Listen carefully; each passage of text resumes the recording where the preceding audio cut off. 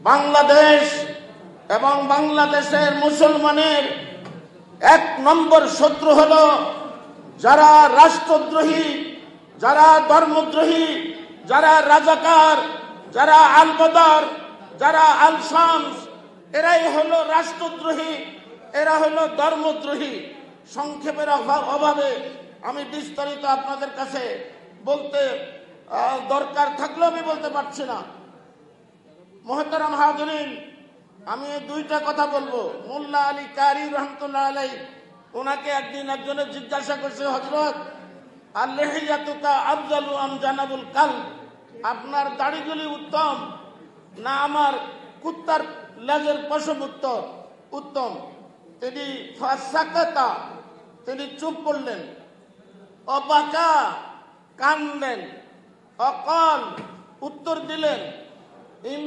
আলাল ইমান ফাল্লে হইয়াকে যদি আমার মৃত্যুর সময় ইমান নসিব হয়, কালেমা নিয়ে মরতে পারি, তাহলে আমার দাড়ি তোমার কুত্তার লাজের পশম থেকে উত্তম। আর যদি জানাবুল কাল, যদি মৃত্যুর সময় ইমান নসিব না হয়, আমি যত বড় ব্যক্তিত্ব হই, যত বড় অর্থশালী, ক্ষমতাশালী হই, যত বড় পীর, বুজুর্গ, আলেম হই মৃত্যুর সময় যদি ইমান নসিব না হয়, কুত্তার লেজের পশম থেকে আমার দাড়ি আরও খারাপ।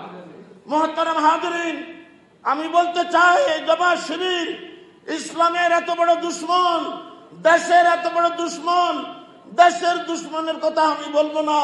যেহেতু এই বিষয়ে বলার জন্য আওয়ামী লীগ, অন্যান্য এই রাজাকার বিরোধী রাজনৈতিক দল আছে, ওনারা বলবেন, আমি ধর্মীয় দিক থেকে জমা শিবির সম্পর্কে চ্যালেঞ্জ করে একটা কথা বলতে চাই।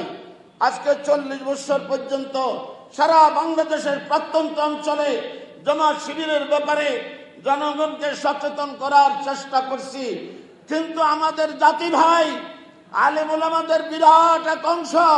এই জমাতের সাথে সক্ষতা রাখার কারণে আমি আমার আমি আমার কর্মসূচিতে সফল হইতে পারি নাই।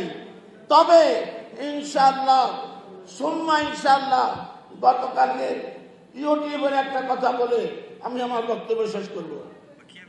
অভিশপ্ত জমাত মজুদির নাপাকি কৌমির ভিতর তৃতীয় শক্তি। ইউটিউবে গতকালকে আসছে। অভিশপ্ত মৌদুদির নাপাকি কৌমির ভিতর তৃতীয় শক্তি। এই জমা শিবির যতদিন পর্যন্ত এদেরকে উৎখাত না করা হবে। এদেরকে, এদের অস্তিত্ব বিলুপ্ত না হবে। ততদিন পর্যন্ত এই ষড়যন্ত্রে এই সরকার, এই সরকারি দল, হকানি উলামাই কেরাম প্রতারণার শিকার হবে। এদের প্রতারণা থেকে উদ্ধার